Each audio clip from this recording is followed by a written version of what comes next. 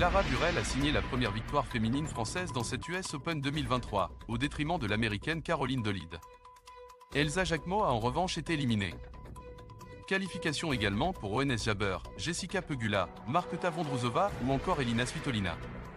Enfin, après 5 éliminations en deux jours au premier tour de l'US Open, le tennis féminin français entrevoit un peu la lumière grâce à la qualification de Clara Burel.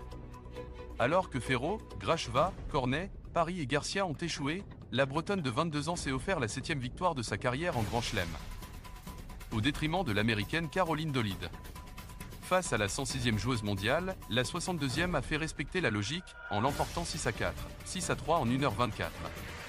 Même s'il n'y a eu que 10 jeux. Le premier set a duré 49 minutes, car les jeux ont été longs et les deux joueuses se sont procuré cette balle de break chacune.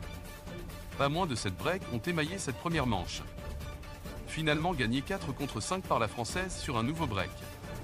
Dans le deuxième, Burel a mené 2 à 0 puis 3 à 1, mais la native de l'Illinois est revenue à 3 à 3. Cependant, la Bretonne a repris le service adverse au meilleur moment. À 4 à 3, et a remporté ce match. Enliminée au troisième tour l'an passé par Arina Sabalenka, Clara Burel passe de nouveau un tour à New York. Prochain adversaire, la 25e mondiale Carolina Pliskova. Qui n'a fait qu'une bouchée de Gabriela Russe 6 à 1, 6 à 4 en 1h14, en servant aux S et en ne perdant qu'une fois son service.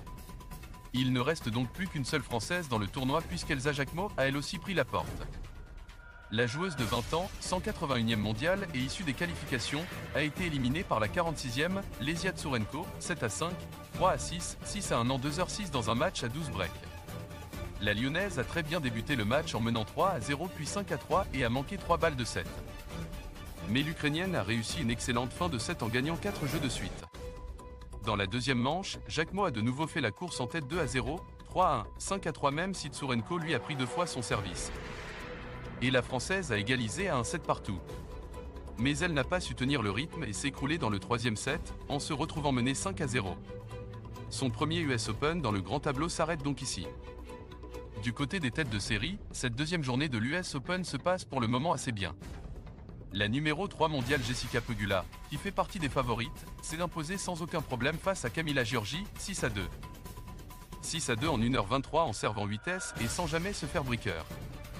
La numéro 5 mondiale ONS Jabber, au lendemain de ses 29 ans, a quant à elle souffert pour éliminer Camila Osorio, 7 à 5. 7 à 6 en 1h58. La Tunisienne a notamment rencontré des problèmes respiratoires dans le premier set et a dû défendre 18 balles de break au total 6 breaks concédés. Le deuxième set a été riche en rebondissements.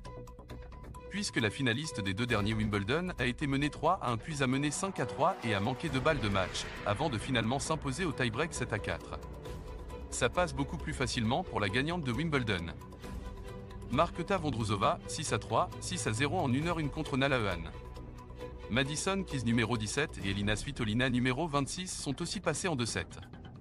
En revanche, Ekaterina Alexandrova numéro 22 et Daria Kasatkina numéro 13 ont lâché une manche contre respectivement l'ancienne finaliste Léla Fernandez et Alicia Parks.